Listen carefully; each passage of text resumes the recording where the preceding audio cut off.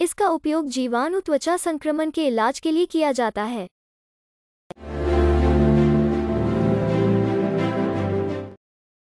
Clobetasol उन chemical messenger को block करके काम करता है जो त्वचा को लाल, सूजे हुए और खुजलीदार बनाते हैं।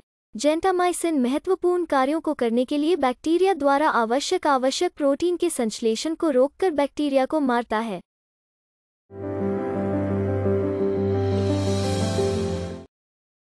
यह दवा केवल बाहरी उपयोग के लिए है। अपने चिकित्सक द्वारा सलाह के अनुसार इसे खुराक और अवधि में प्रयोग करें। उपयोग करने से पहले निर्देशों के लिए लेबल की जाँच करें। प्रभावित क्षेत्र को साफ़ करके सुखा लें और क्रीम लगाएँ। लगाने के बाद अपने हाथ धोएँ, जब तक कि हाथ प्रभावित क्षेत्र न हो। धन्यवाद।